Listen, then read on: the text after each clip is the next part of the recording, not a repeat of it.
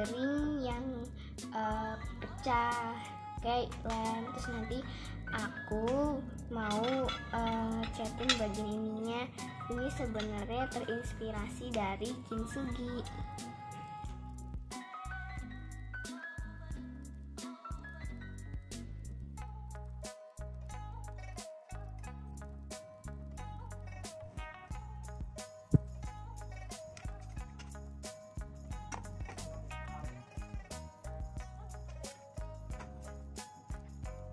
Nah, biar pecahan ini menarik yang kayak aku bilang tadi, aku bakal jadiin ini jadi kayak kintsugi. Jadi aku bakal pakai cat akrilik dan nanti aku bakal campur jadi warna gold, warna emas kayak kintsugi. Nah, jadi yang ini dia buat um, warna yang kita perlukan untuk membuat warna gold. Jadi ya kita butuh warna merah, kuning dan biru. Oke. Okay. Yuk kita mencampur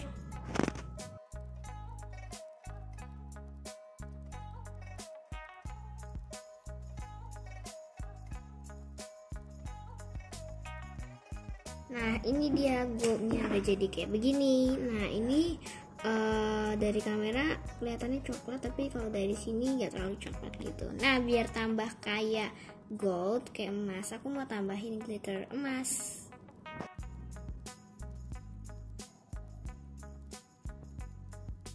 Oke segini aja. Terus aku ingin campur.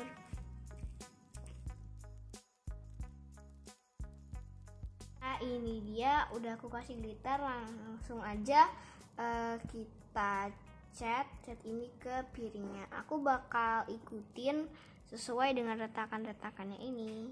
Oke. Okay.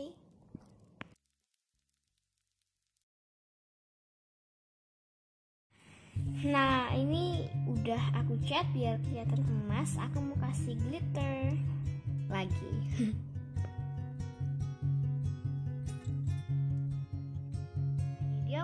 kasih glitter aku bakal bersihin glitternya. Uh, kalian terserah boleh pakai tisu juga boleh.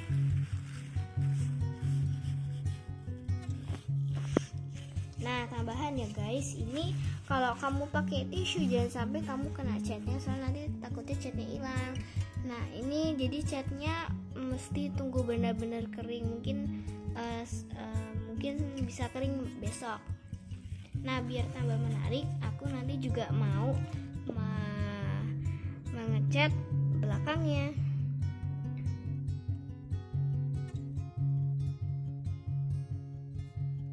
Ini dia guys, belakangnya udah jadi dari kasih glitter, terus kita bersihin lagi.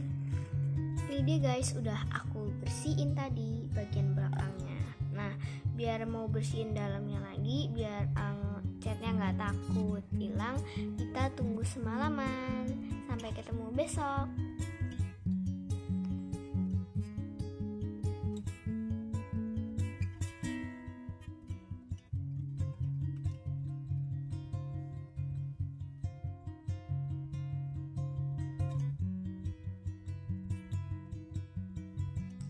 Nah ini dia guys paginya catnya udah kering ini tinggal kita uh, hilangin lagi yang di bagian dalam.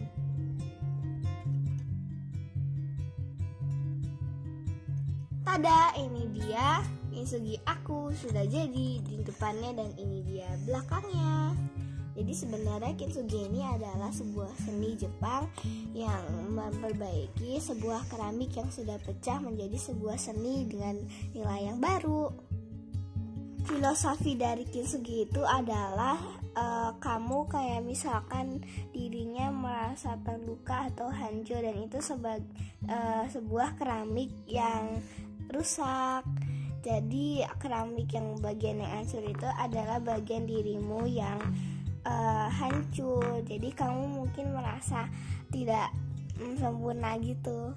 Saat bagian dirimu merasa hancur yang tidak bisa diperbaiki, Kintsugi berkata lain bahwa semua bagian harus diperlakukan dengan sebaik-baiknya.